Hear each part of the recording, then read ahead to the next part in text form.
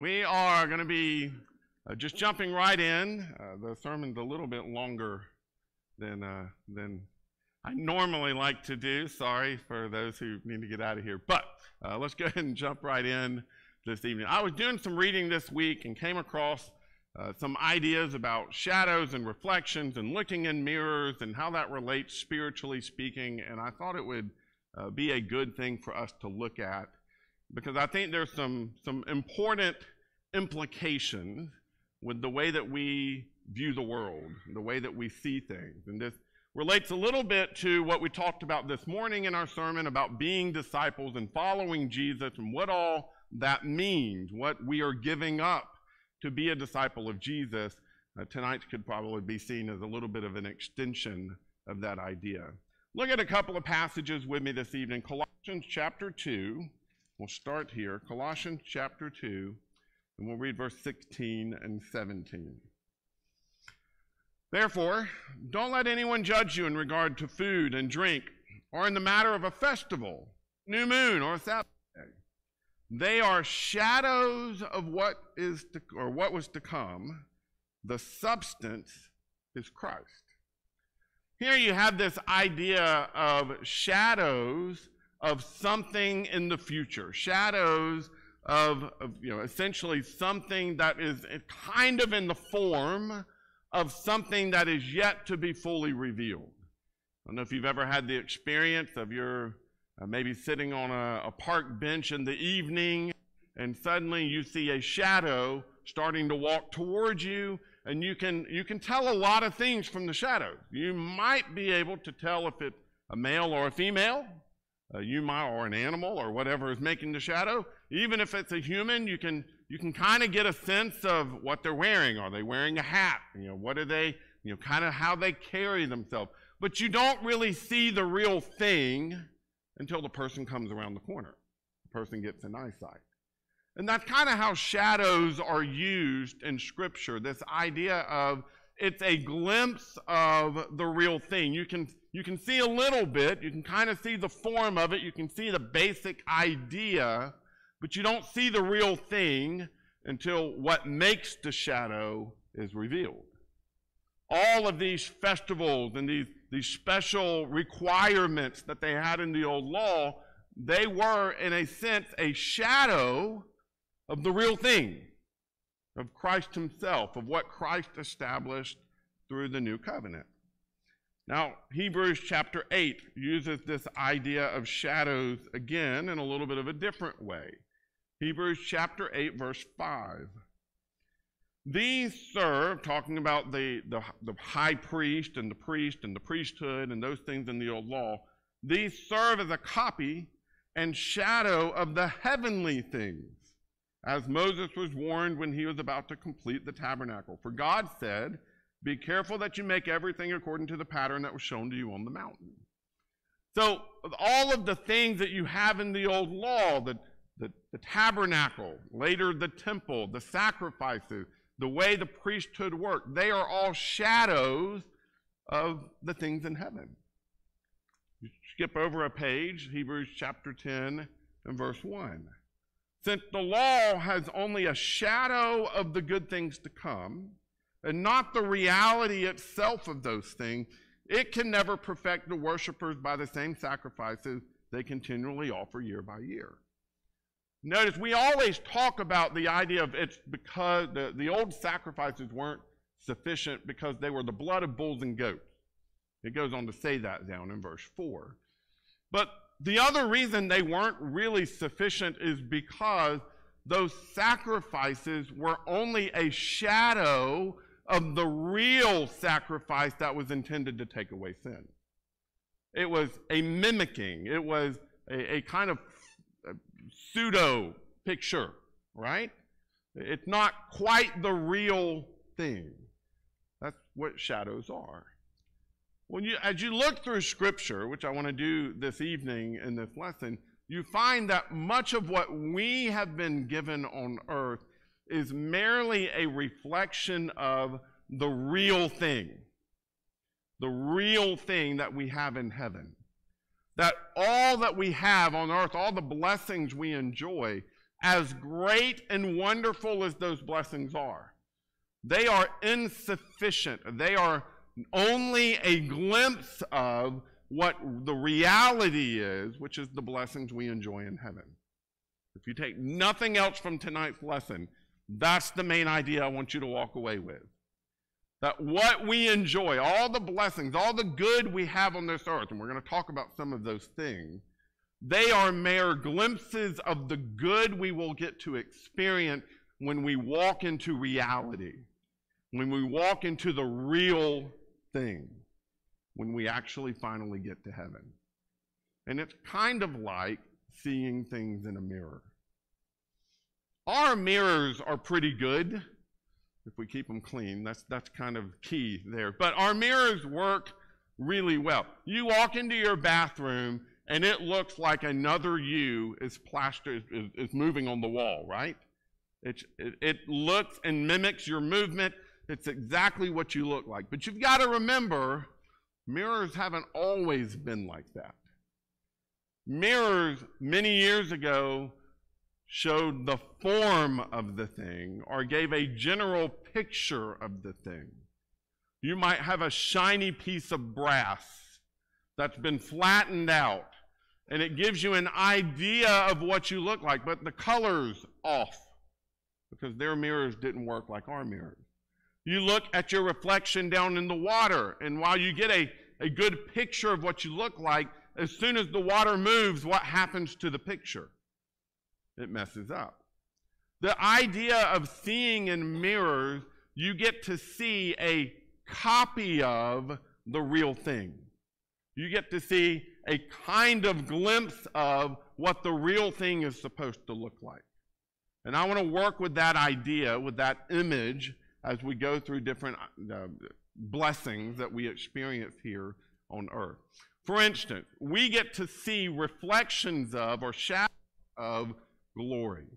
We already looked at Colossians chapter 2, verse 16 and 17. It talked about festivals and new moons and Sabbath and food and drink that they would use in their celebrations and their festivals.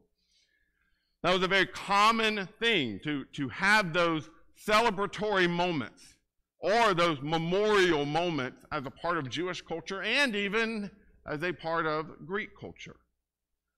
But as great as those things were, you know, we, we go back and we read things like uh, the way that they celebrated Passover, and we're like, that would be so cool, right? It would be so neat to go through that whole celebration and all the ritual attached to that. You know, the, the Feast of Booths. I'm not a camper. So the idea of going and living in a tent for several days in a row is like, yeah, I, am kind of glad that one disappeared. But I mean, just the the family festival uh, arrangement of particular uh, event would have been really fascinating. And all of the things that they did, and the things they ate, and the things they remembered, and the scriptures they read were all just glimpses of how good things can be. Same's true about creation itself, isn't it?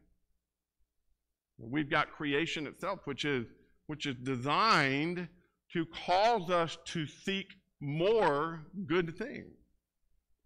Proverb, or excuse me, Psalm 19, verse 1 and 2. The heavens declare the handiwork of God, and the firmaments declare, let me get to it here, uh, and the expanse proclaims the work of his hands. Day after day they pour out speech, night after night they communicate knowledge. You, look at creation, you look at the way the heavens move, you look at the way the earth moves, and all the things and how it all works. It, it's fascinating because it makes us realize the, the handiwork of, of, right? We look at creation and we realize this could not have been an accident. This is absolutely amazing. It makes us want to learn more about God. That's what we're told over in Romans chapter 1, verse 20, that we see the, the glory of God in the creation and the way things are made. Turn with me over to Hebrews chapter 11. Hebrews chapter 11. Here we're told in verse 8 By faith, Abraham, when he was called, obeyed, set out for a place that he was going to receive as an inheritance. When he went out even though he did not know where he was going. By faith, he stayed as a foreigner in a land of promise, living in tents, as did Isaac and Jacob, co heirs of the same promise. Now, listen to this. For he was looking forward to the city that has foundation, his, whose architect and builder is God. Now, here's the thing we don't know how much Abraham knew about heaven. We don't have any sort of documentation of a law that he had received. We don't know exactly what God revealed other than the pieces that we have in the book of Genesis. But somehow, Abraham traveled from his home to the home God was giving him, living tents the entire rest of his life, and it caused him to seek a city or a place that had a foundation that was built by God. He wasn't satisfied with tarps and tent posts. He was satisfied because he knew he had a God who was preparing a place for him. And I find that amazing that that kind of faith is built off of the observation of what God had already blessed him with. That, that he saw his surroundings, he saw his circumstances, and it caused him to seek something more. That's kind of the way we are. That's what it's supposed to do for us. Look with me over at Ephesians chapter 3. Ephesians chapter 3. I'll let y'all off easy this morning, just turning to passages in Matthew, you know, kind of in order, right? That, that was that was easy. Tonight I'm giving your fingers and your pages a workout. Here we go. Ephesians chapter 3, starting in verse 20. Now to him who is able to do above and beyond all that we ask or think, according to the power that works in us, to him be glory in the church and in Christ Jesus to all generations forever and ever. Amen. Who in here hasn't marveled at a sunset and thought, if God could do that here, imagine what he has done there? Who in here hasn't looked at the beauty of spring and see how the earth essentially resurrects every single year? From the bleakness of winter to the beauty of spring and not marveled and thought, if God can bring such vibrance to our world now, imagine what we're going to get to walk into one day in heaven. That's what our creation is supposed to do for us.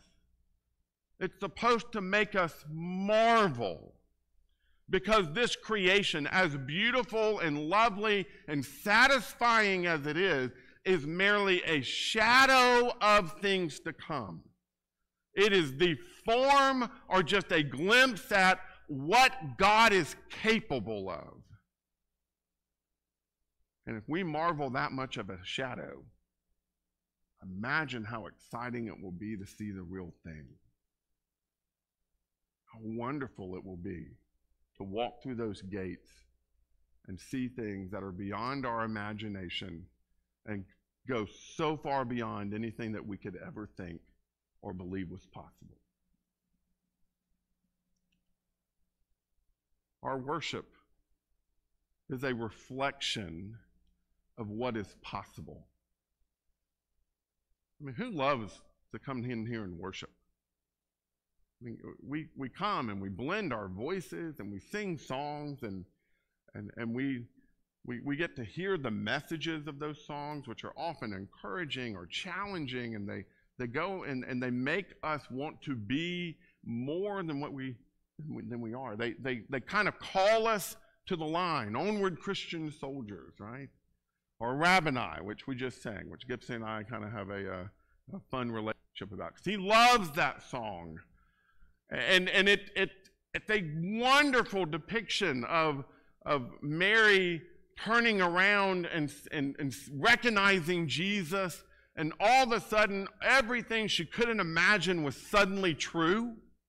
that Jesus had come back, that Jesus was still alive, and she, she cries out, Rabboni. And just, just we sing these songs and they get us excited about what's possible. They are only a glimpse. It's only a glimpse. Hebrews chapter 8. Hebrews chapter 8. says here in verse 5 and 6 these serve as a copy. We already read this. They serve as a copy, a shadow of heavenly things. Verse 6 But Jesus has now obtained a superior ministry. And to that degree, he is the mediator of a better covenant, which has been established on better promises. You know, as, as as amazing as it would have been to see the, the incense burning and the, the lamps lit up and the sacrifices outside the temple and the beauty of the, of the golden walls that were decorated and carved with different angels and almond blossoms and all of these things that you have there in the Old Testament, they are a shadow of what's to come. As beautiful as our worship is, as much as we enjoy it, as much as we love blending voices and bowing heads together and coming together and enjoying this time of reflection and thinking about God, it is a shadow of better things because it's limited. But what is it that heaven is described as? God's people gathered where? God's throne. God's throne.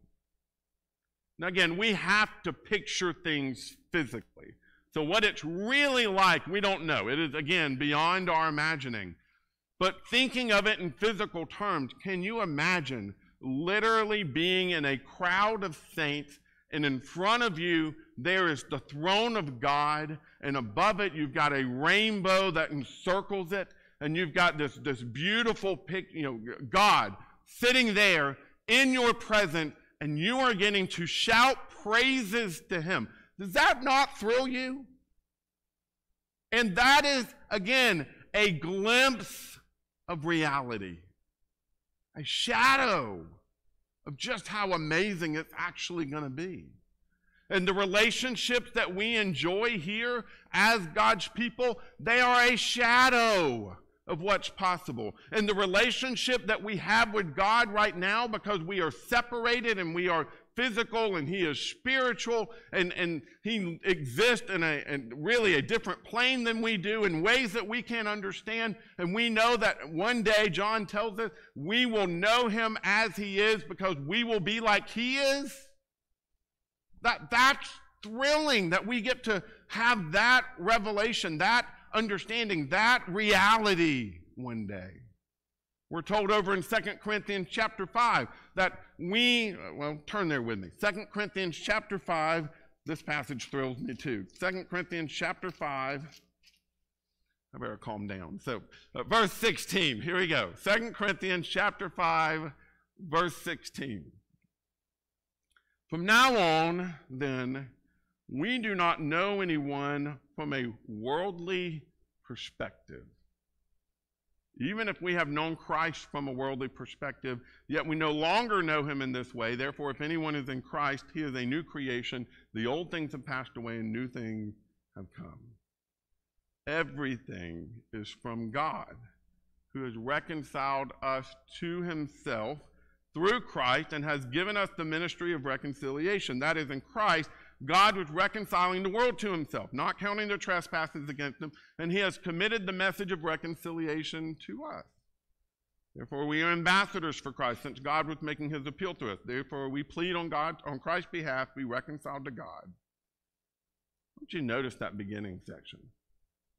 Because I don't know that that actually describes me. We no longer recognize one another from a worldly perspective. Yeah, we do. I'll be honest, I think we have a hard time picturing or thinking about one another from any other perspective. We see flesh. And Paul says we should see Spirit. One day, we will. One day, we will. We will learn to see people as souls, not as humans. I love that. I love that at some point we will start to see people for who they truly are the creation of God, those eternal beings that God has made so that we might be loved by Him. We will learn to see the real person, not the outer covering. We experience reflections of holiness right now. I'm convinced the longer we live on this earth, the more we realize this is this just isn't our home. This isn't where we belong. We, we get a sense or a longing that grows in us because we realize there is something better than this. Hebrews chapter 11, verse 13.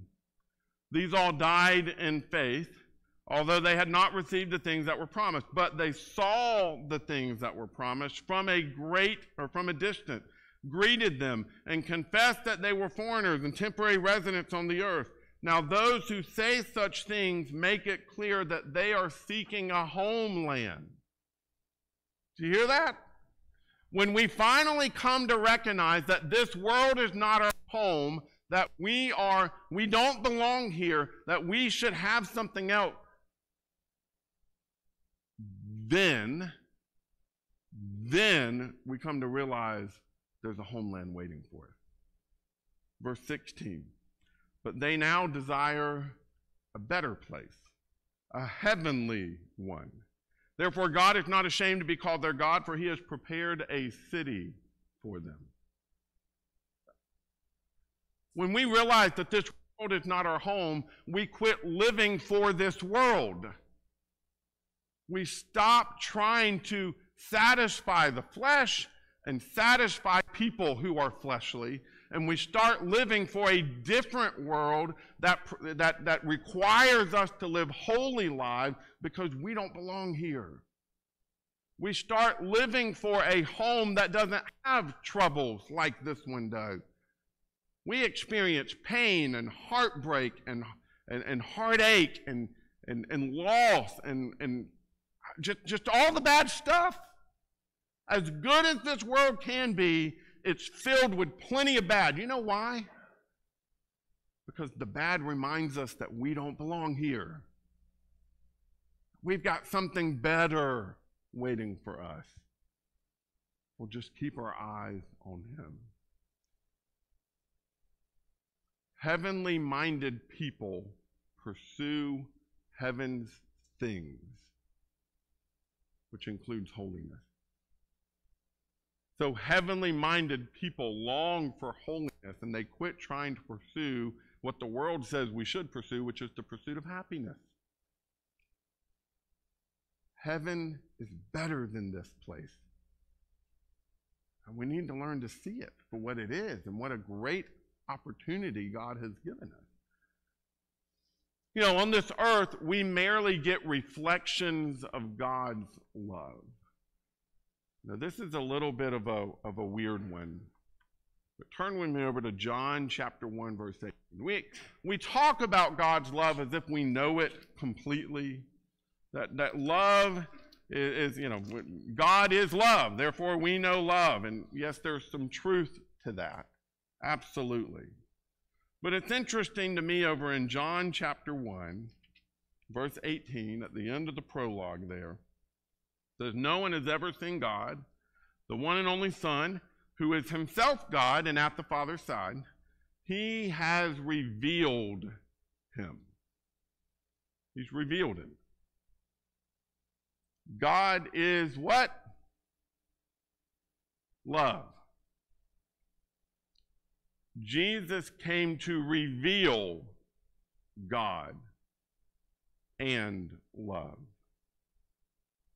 And even though he did, he showed us what love was really about, and we're going to look at a verse or two about that in just a second. because we have not seen God, we do not yet truly know love. We see glimpses of it. Jesus is one of those glimpses. What is it John 3:16 says? For God so loved the world that he gave his only begotten son that whosoever would believe in him might not perish but would inherit eternal life. 1 John 3:16 similar message. This is how we've come to know love. He laid down his life for us. So, could we really know love before Jesus revealed the Father and thereby revealed love? I'm not sure we could. I'm not sure we could have had any inkling of just how far love goes. Then it goes on in the same verse to say, we should also lay down our lives for our brothers and sisters. So here we've got this principle of it's not just about knowing God's love, but it's about learning how to display God's love. How do we do that? By mimicking Jesus, by doing the things Jesus did, by living sacrificially like he did. Chapter 4, verse 10. Love consists in this not that we love God, but that He loved us and sent His Son to be the atoning sacrifice for our sin. Dear friends, if God loved us in this way, we must also love one another. No one has ever seen God. If we love one another, God remains in us and His love is made complete in us. This is how we know that we remain in Him and He in us. He has given us His Spirit. And so, again, we've got this idea of, of we come to know love because God, who is love, displayed his love through Jesus. And it's by understanding and knowing and, and, and recognizing the story of Jesus that we learn to love. And that, that makes love possible in our world. But then we have to also share it with others. And the more we know God, the more we will know love. So here's, here's my premise. Will we know God more now, or will we know God more there? There. We don't quite yet understand how all this works and who God is and exactly how God is, but we will then. And then we will truly know love. Ooh, that did not go well. But let me let me use this as an illustration.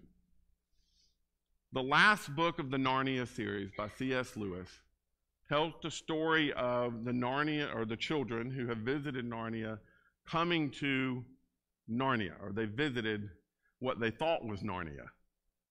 But they come to what's called Aslan's country, which is essentially the place that allows them to enter in to meet the emperor. The emperor is the, the, uh, the father figure, the God figure in the story, Aslan being the Christ figure in the story. And there are certain statements made here that just absolutely put heaven and the shadow of this world in perspective. One of the characters is a unicorn named Bree, I think. Uh, but the unicorn says this I have come home at last.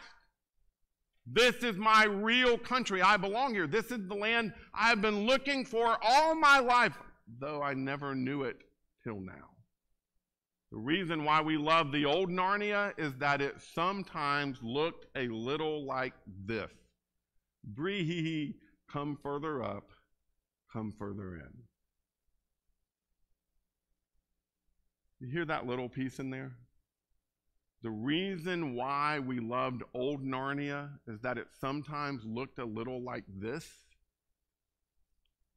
Brothers and sisters, you know the reason why we sometimes this earth is because sometimes it looks a little, a little bit. We get a little glimpse of just how heaven is. The best things on earth are glimpses of heaven. Also, in the same book, there's a professor, and the professor makes this statement. It is as hard to explain how this sunlit land was different from the old Narnia as it would be to tell you how the fruits of that country taste. Perhaps you'll get some idea of it if you think like this. You may have been in a room where there was a window that looked out onto a lovely bay of a sea or a green valley that wound away among mountains. And in the wall of that room, opposite to the window, there may have been a looking glass, a mirror. As you turned away from the window, you suddenly caught sight of that sea or that valley all over again in the looking glass. And the sea in the mirror or the valley in the mirror were, in one sense, just the same as the real ones. Yet at the same time, they were somehow different, deeper, more wonderful, more like places in a story, in a story you've never heard but very much want to know. The difference between the old Narnia was like that. The new one was a deeper country. Every rock and flower and blade of grass looked as if it meant more. I can't describe it any better than that. If you ever get there, you'll know what I mean.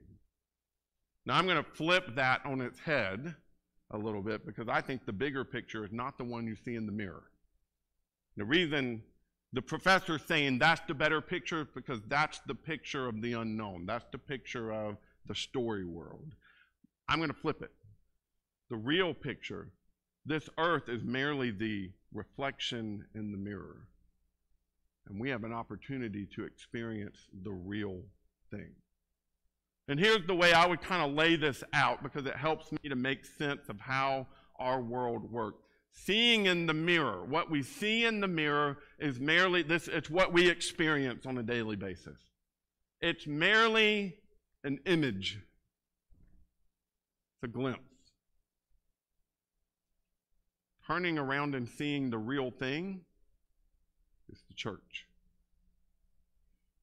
So you can choose to look in the mirror and see some good. It's a small picture, small mirror. You're only going to get a small glimpse of what's real and what's possible. But when you find yourself in the church, you get to see the real thing. But it's not complete yet.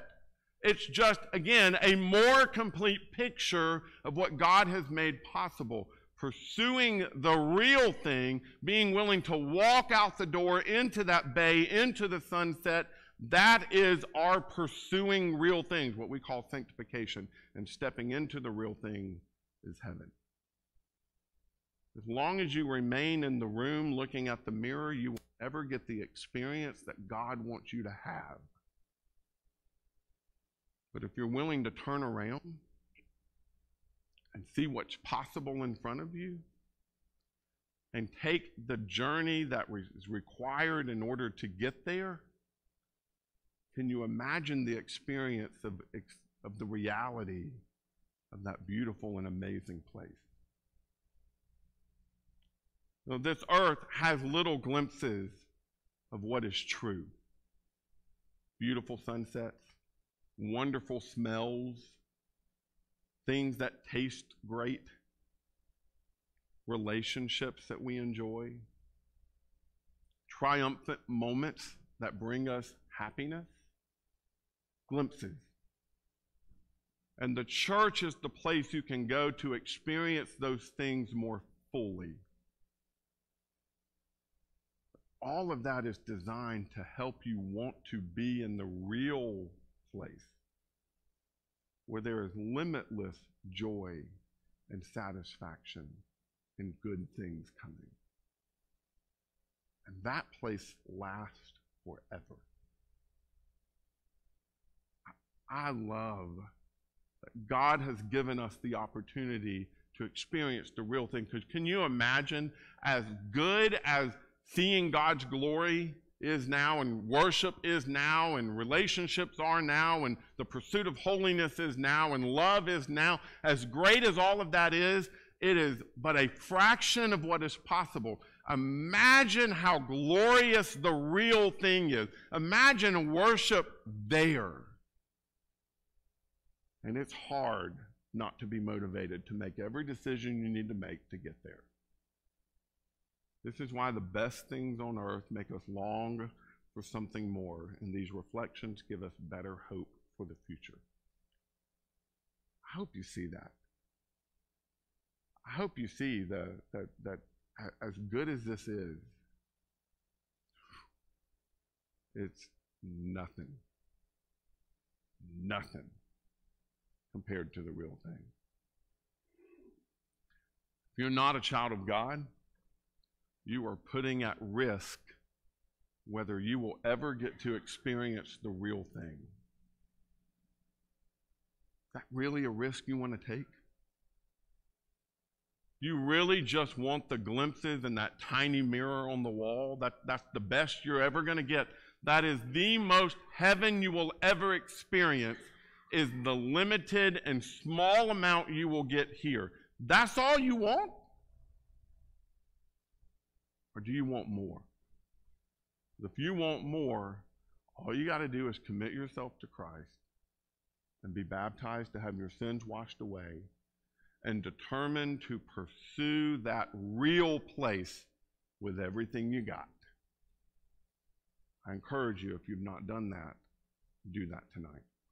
If you need the invitation to be baptized into Christ and to start that walk toward the real thing, then come forward and let us know as we stand and sing this song.